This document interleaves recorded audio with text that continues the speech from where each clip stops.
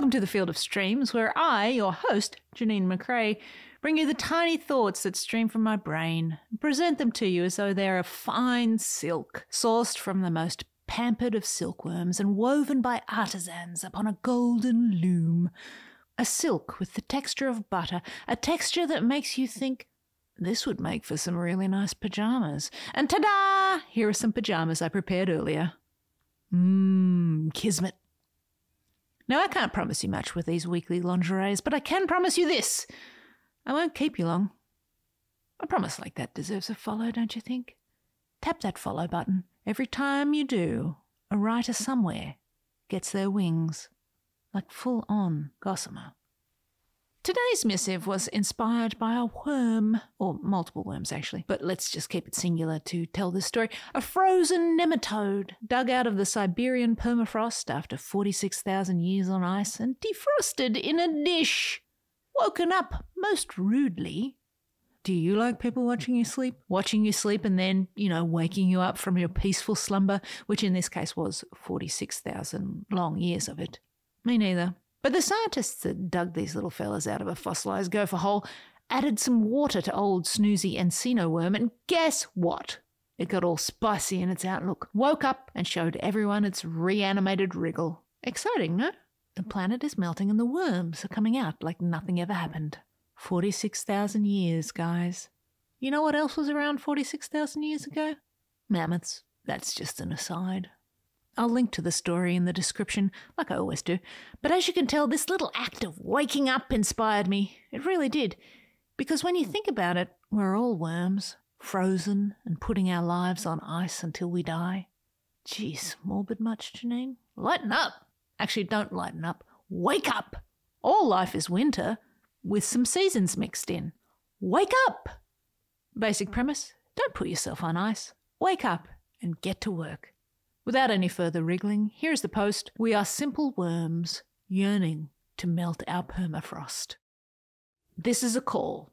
A call to arms, to legs, to bodies, to minds, to that soft part behind the knee that never gets any love unless it's bitten by a mosquito. A call to humans and persons and peoples and you theirs, all of yous, all quadrupeds and skin cylinders, and let's add in nematodes, for who amongst us has not felt, at one time or another, like a worm? Wake up! There is no time. We're not having it, and you're not getting it, for your big and selfish sleep. No time to tolerate your frozen and inert body, stuck as it is in the permafrost of an ever tilting, off its axis world. No time for shutting down to the chaos of the outside and marinating in your pre programmed stasis with the black oils and flecks of who's a what's it's on your conscience. In and on an unknown, long forgotten, and foreign tundra. No time. Waking up, it's the only solution. The waking up and the slipping in and the taking off in the now time. Put your finger on it. Only that time the forever in it time, which is yours to idolize, to monetize, to watch your sides and take your rides. This is the this. Get to the getting. Wake up! Open your drowsy eyes and feel the surge of life as it investigates your bones and seeps into the bloodstream, which, in turn, animates your vision. You are the slowly blinking tube of light, flashing faster to full on, bright and strong on the ceiling of this here moment. You are the new arrival from the stepped away momentarily, the coming back of you. Your slender form will find its sugar to feast and thrive upon one year, five years, 46,000 years in the permafrost of putting off. That's all over now. Time to put on. Wake up!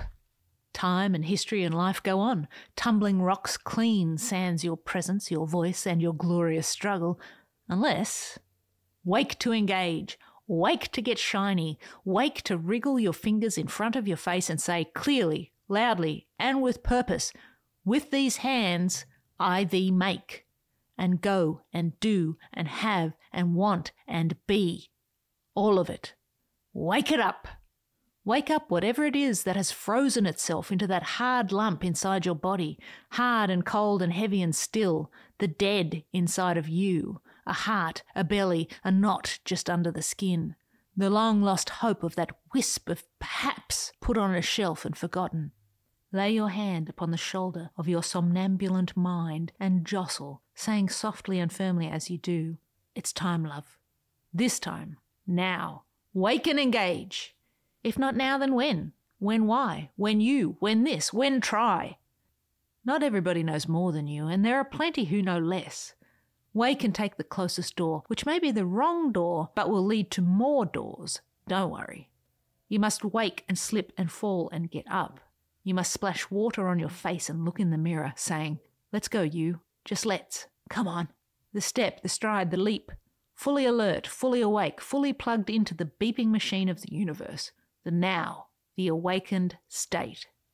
It's understandable, the free state. There is a world outside, and the world is angry. It snarls and growls and knits its brows. The world is set on spinning off the table and onto the floor to smash all the crockery and expensive heirlooms of our heritage. It is pulsing and petulant, throbbing and watching as you shrivel in your inert poise, a mind dumb and dull and with our temperature dial set well below zero.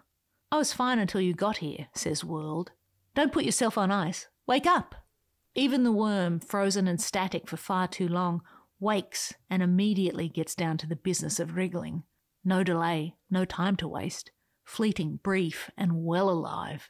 Let the worm be your guide, spiritual, intellectual, and instinctual.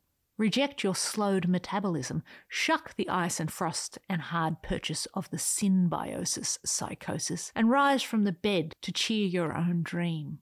I wake, therefore I am. Frozen in time, but not out of mind. Of mind, in mind, sound mind, the gap. All life is winter.